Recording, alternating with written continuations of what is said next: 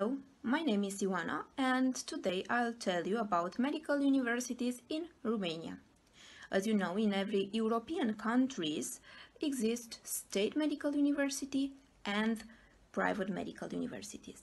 You can choose the medical university in Romania according to your criteria, according to the ranking of the university of, or even according to the location of the university. In Romania, we have, for instance, Victor Babes University of Medicine in Timișoara, close to the border with Hungary. Other medical universities are Ovidius University of Medicine in Constanța, which is close to the sea. The Carol Davila University of Medicine is located in the capital of Romania, Bucharest. Close to the mountains, we have Iuliu Hațeganiu University of Medicine and Pharmacy in Cluj-Napoca. Here you can also find the airport as you can also find it in Timișoara or Bucharest if you plan to take the plane and travel abroad for several days. You have to bear in mind that if you want to study at a private medical university, even if you are a Romanian citizen, you need to pay annually a fee. But if you are interested in a state medical university, after you finish uh, your high school, you need to sit uh, for an exam which consists in biology, physics and biochemistry. If your score is high enough, you are a happy case because for that year you will pay no tax at all.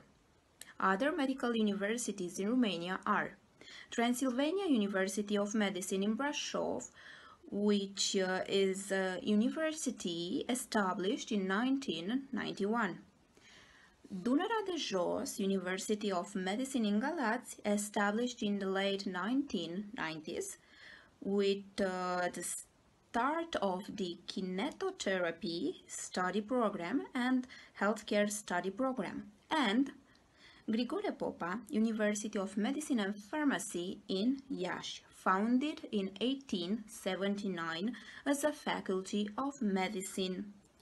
You also have to know that a degree from uh, one of those uh, medical universities can help you work in an EU country. If you are a foreigner coming with a visa in Romania, and uh, you want to study in an English division, you will need to pay annually a fee to study to one of those university. The price is 5,000 euro and 6,000 euro in Bucharest for one year.